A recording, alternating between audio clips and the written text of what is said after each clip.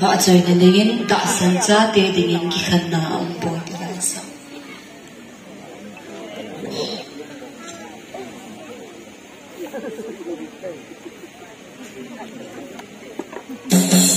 Thank you.